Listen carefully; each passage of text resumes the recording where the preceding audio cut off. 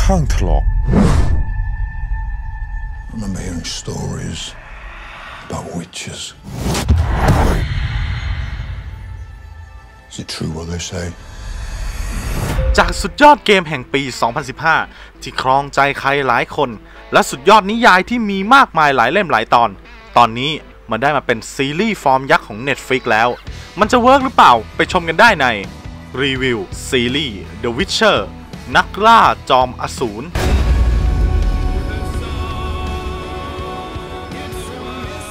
The Witcher นะครับ เป็นซีรีส์ original ของ Netflix ที่ Netflix มั่นหมายให้เป็นซีรีส์เรือธง Netflix เลยก็ว่าได้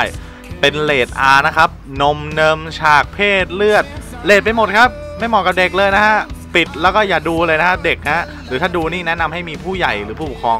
คอยให้คำแนะนำนะครับ ผมนี่รอซีรีส์เรื่องนี้อย่างมาก เพราะว่าผมเนี่ยเป็นแฟนเกมของ The Witcher ฉะนั้นรีวิวนี้อาจจะมีเอนเอียงคะแนน แล้วก็อิงกับเกมเยอะนิดนึงครับ เรื่องราวเปิดให้เราเห็นถึงเมืองซินทรา ที่กำลังโดนจักรวรรดินิล์ฟการ์ดกำลังบุกทะลวงยึดเมือง และมาเพื่อหาซิริลล่าหลานสาวของราชินีซินทรา ก่อนที่ราชินีของซินทรา จะบอกให้ซิริลล่าหรือซิริหนีไป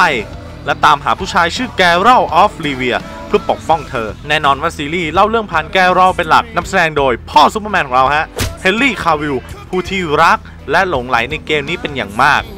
Save Martha! ก่อนอื่นต้องมาทำความเข้าใจก่อนว่าตัวซีรีส์เนี้ยดัดแปลงมาจากนิยาย ซึ่งคาแรคเตอร์ต่างๆ ในซีรีส์จะเหมือนกันในนิยายมากกว่าเกม แต่ว่าจริงๆแล้วเกมมันก็อิงมาจากซีรีส์อีกทีมันก็คล้ายๆกันแหละ แต่ว่ารีวิวนี้ผมก็จะอ้างอิงเกมหน่อยนะครับเพราะว่าผมไม่ได้อ่านนิยาย แล้วก็ผมเนี่ยผูกพันกับตัวเกมมาก ซึ่ง มันที่มามันที่เดียวกันอะไม่เป็นไรหรอกมาที่ข้อเสียกันก่อนเลยครับ การเล่าเรื่องครับ อันนี้ถ้าคุณไม่ใช่แฟนนิยาย ไม่ใช่แฟนเกม บอกเลยครับงงงงมากด้วย คุณจำเป็นที่จะต้องดูจนจบ อาจจะทำให้คุณเนี่ยหายงงมั้งนะ แต่ถ้าคุณเล่นเกมหรือนิยายมาเนี่ยผมว่ามันอาจจะไม่งงนะฮะเพราะว่ามันมีบางจุดที่เราจะรู้สึกว่าเขาเล่าวิธีการเล่าของเขาเป็นแบบเนี้ยอาจจะชอบด้วยซ้ำนะฮะซึ่งผมก็ชอบนะฮะ เราจะรู้เนื้อเรื่องตรงที่เขาจะเล่าได้เกือบทันทีนะครับ แต่มันก็เป็นข้อเสียแหละ อีกเรื่องครับซีรีส์มันกักเนื้อเรื่องมาก คือกักแบบที่มันควรจะเป็นซีซั่น prologue มากกว่าซีซั่นหนึ่งซะอีก แต่ในเมื่อตั้งใจจะสร้างหลายซีซั่นก็อดทนรอดูกันหน่อยแล้วกันครับ ซึ่งซีซั่น2เนี่ยคิวที่จะฉาย Netflix เนี่ยก็คือปี 2021 เลยนะฮะ ข้อเสียข้อนึงครับ คุณต้องหาข้อมูลเพิ่มเติมฮะ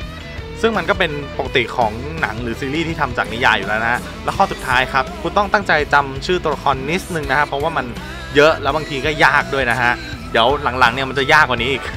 มาครับมาที่ข้อดีกันดีกว่าครับแกร l ครับเฮนรี่คาวิลนะครับสำเนียงเหมือนในเกมมาก และนี่ก็เป็นแกร l ช่วงแรกยังไม่ใช่ในเกมภาค3ที่หลายคนเล่นนะฮะฉะนั้นใจเย็นๆนะฮะอีกเรื่องครับเพื่อนของแกร l ครับแจ็คเคียร์ครับผมไม่รู้ว่าใช่ตัวละครเดียวกับแดนดี้ไลออนไหมครับแต่ว่าผมรู้สึกว่า คาแรคเตอร์ทุกอย่างเนี่ยมันใช่เลยนะ ถอดแบบมาดีมากๆ ทั้งการร้องเพลงนิสัยตัวละคร แล้วก็บรรยากาศต่างๆ เพลงประกอบเนี่ยผมรู้สึกว่ามันเหมือนในเกมดีนะ ยิ่งฉากต่างๆ ที่ต้องการจะสื่อการแสดงของตัวละครทุกอย่างมันดีมากๆ ฉากเยนนิเฟอร์ก็ดี ไม่ได้ฉากนั้นนะไม่ได้ฉากนั้นหมายถึงโดยรวมพวกการใช้เวทอะไรพวกนี้นะฮะ CG ก็โอเคครับ สรุปแล้วผมว่ามันเป็นซีรีส์ที่เพลินๆนะ แล้วก็ ถ้าจะให้เทียบกับ Game of Thrones เนี่ย ผมรู้สึกว่าซีซั่นแรกของ The Witcher เนี่ย drop มากเลยนะ ถ้าเทียบกับ Game of Thrones ซีซั่นแรกในการที่จะทำเป็นซีรีส์ใหญ่นะครับ แต่ว่ามันก็เป็นจุดเริ่มต้นที่ดีนะฮะสำหรับ The Witcher เพราะว่าผมรู้สึกได้ว่าซีซั่น2เขาคงไม่จำเป็นต้องกักอะไรแล้ว เพราะว่าเขาเล่ามาได้อย่าง perfect แล้วผมรู้สึกว่าซีซั่น2เนี่ยสามารถเล่าอะไรอย่างอื่นได้เยอะกว่านี้แล้ว อาจจะยังไม่ยิ่งใหญ่นะครับเพราะว่ามันกักเกิน ก็ขอให้คะแนนอยู่ที่ประมาณ 8 เต็ม 10 แล้วกันครับ ก็ไม่ได้ผิดหวังครับ ผมว่ามันเป็นการเริ่มต้นได้ดีมาก แล้วก็ยังมีเรื่องให้เล่าอีกเยอะ แฟนเกมแฟนนิยายเนี่ยผมว่าน่าต้องชอบแน่นอน ก็มีทั้งหมด 8 ตอนนะครับ ตอนละประมาณ 1 ชั่วโมง ชมได้แล้ววันนี้ที่ Netflix นะครับ ก็ถ้าใครชอบคลิปนี้นะครับ อย่าลืมกดไลค์ กดแชร์ กด Subscribe ด้วยนะครับ แล้วก็กดกระดิ่งด้วยนะครับ กดไลค์แฟนเพจสีข้างถลอกด้วยนะครับ อัปเดตข่าวสารมากมายครับ อยากให้รีวิวเรื่องไหนรีชั่นเรื่องไหนพิมพ์บอกกันได้เลยครับสำหรับวันนี้ลาไปก่อน สวัสดีครับ